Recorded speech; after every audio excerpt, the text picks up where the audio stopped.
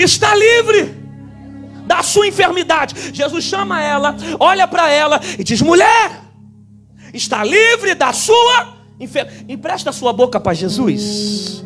E diga para pelo menos cinco, pelo menos cinco, o que te prende, Jesus solta hoje. Diz. O que te prende, Jesus solta hoje. O que te prende, Jesus solta hoje. O que te prende, Jesus destrava hoje. O que te prende, Jesus solta, solta. Eu já estou ouvindo barulho de corrente sendo quebrada nessa igreja. Vai soltar hoje a tua vida.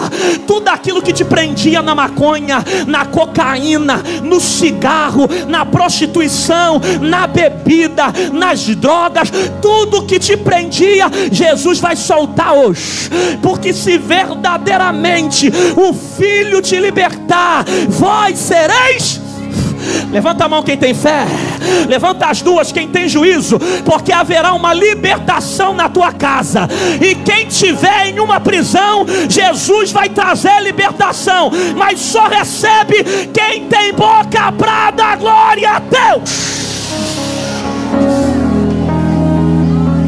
Jesus vai libertar aquele homem da cachaça. Jesus vai libertar aquele homem da maconha. Jesus vai libertar aquela mulher da cocaína. Jesus vai te livrar desse medo. Jesus vai te livrar desse complexo de, de, de fobia. Jesus vai te tirar dessa ansiedade. Jesus vai te libertar desse espírito que está te oprimindo. 18 anos te encurvando, te ferindo, te machucando. Jesus vai quebrar a corrente hoje na tua casa. Jesus vai quebrar essa cadeia na vida do teu filho. Esse homem que está preso na maconha. Esse garoto que está preso na bebida. Que toda madrugada fica tomando somando 51, 61, 71. Jesus vai arrancar ele e vai trazer para a presença dele. Jesus vai tirar esse homem da mentira. Jesus vai arrancar esse homem da mão da amante.